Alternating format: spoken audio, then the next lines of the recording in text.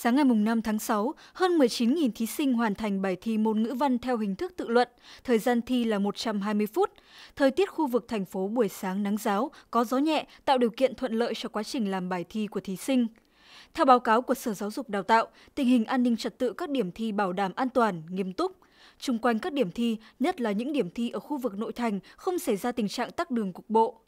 tại 46 hội đồng thi của thành phố, lực lượng công an, bảo vệ, sinh viên tình nguyện tích cực tham gia điều tiết giao thông, kịp thời hỗ trợ thí sinh khi cần thiết. Đây là kỳ thi quan trọng nên phần đông các thí sinh được người thân hỗ trợ đưa đón tại các điểm thi.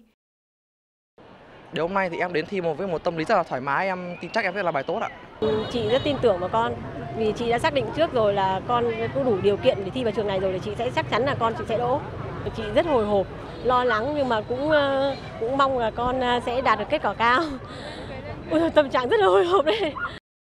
Cũng trong sáng nay, đồng chí Lê Khắc Nam, Phó Chủ tịch Ủy ban Nhân dân thành phố, trưởng ban ban chỉ đạo kỳ thi cùng các thành viên ban chỉ đạo kiểm tra công tác thi tại điểm thi trường Trung học phổ thông Lê Hồng Phong, quận Hồng Bàng và điểm thi trường Trung học phổ thông Ngô Quyền, quận Lê Trân. Phó Chủ tịch Ủy ban Nhân dân thành phố Lê Khắc Nam nghe Chủ tịch Hội đồng thi tại trường Trung học phổ thông Lê Hồng Phong và trường Trung học phổ thông Ngô Quyền báo cáo tình hình thí sinh dự thi buổi thi thứ nhất. Trong đó, việc thực hiện quy chế thi của thí sinh và giám thị, các khâu phục vụ kỳ thi của cán bộ, giáo viên tại tại các điểm thi và các lực lượng liên quan không có gì sai sót, bảo đảm an toàn, khách quan đúng quy chế. Trực tiếp kiểm tra hai điểm thi, Phó Chủ tịch và đoàn công tác Ban chỉ đạo thi thành phố yên tâm về các điều kiện cơ sở vật chất, công tác bảo đảm an ninh trật tự, việc thực hiện quy chế của các giám thị và thí sinh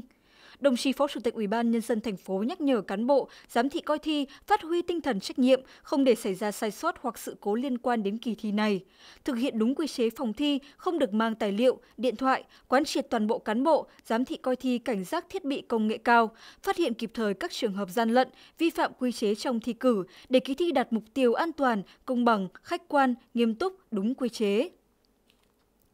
Về đề thi môn ngữ văn, phần lớn thí sinh rời khỏi phòng thi với tâm trạng vui vẻ, tự tin, nhận xét đề không khó, cấu trúc đề đúng như định hướng của Sở Giáo dục Đào tạo.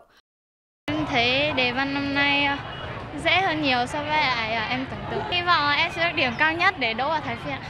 Nội dung thi nằm trong hệ thống kiến thức được ôn tập trên lớp, nên việc làm bài thi của thí sinh diễn ra thuận lợi, tự tin, tạo tâm lý thoải mái để các em bước vào hai môn thi tiếp theo.